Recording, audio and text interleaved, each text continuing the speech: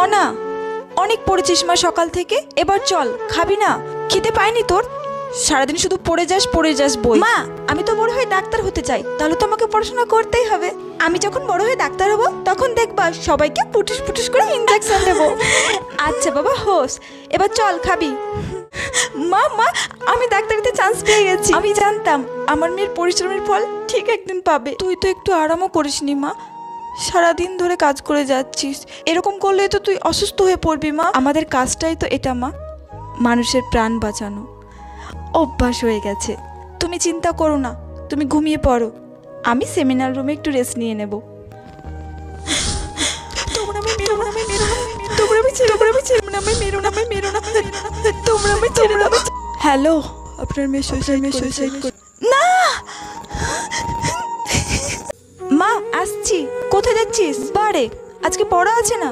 শোন মনা তো স্যারকে বলবি, এই সন্ধ্যাবেলার দিকের পড়াটা সকালবেলার দিকে করিয়ে দিতে। তোর আস্তে আস্তে সে কত রাত্রি হয়ে যায় বলতো? বলব, এই ফোনটা নিয়ে যা। আর শোন, পড়া হয়ে গেলে কিন্তু কোচিং থেকে একদম বের হবি না। তুই আমাকে, নাহলে তোর বাবাকে যে কোনো একজনকে ফোন করবি। আমরা গিয়ে তোকে একজন নিয়ে আসব, ঠিক আছে? আসছি।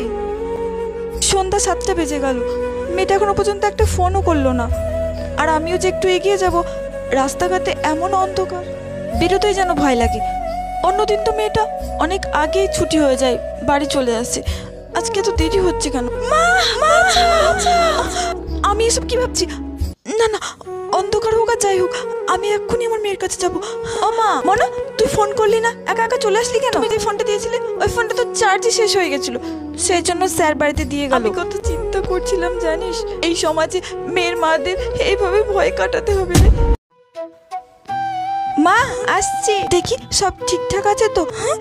মনা, একটা অন্য নিসনি কেন? যা, একটা অন্য নিয়ে নে।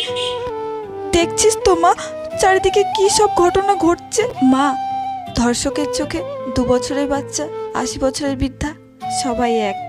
ডাক্তার দিদি, কি বা এমন পোশাক পরেছিল মা, যে তাকে ওরা এইভাবে শেষ করে দিল?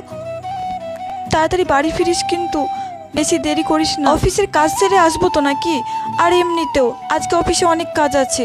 আসতে আমার লেটই হবে। লেট হবে মানে? তুই চাকরি বাকরি ছেড়ে দে মা। তুই ঘরেই থাক। অন্তত বেঁচে তো থাকবি। ওই অমানুষদের জন্য হাত পা গুটিয়ে ঘরে বসে থাকব নাকি? এই জন্য ছোট থেকে ইন্ডিপেন্ডেন্ট হতে শিখিয়েছিলে? হ্যাঁ হ্যাঁ দরকার হলে তাই থাকবি। তোকে ইন্ডিপেন্ডেন্ট হতে হবে না মা। এ রাজ্যের রক্ষকই ভক্ষক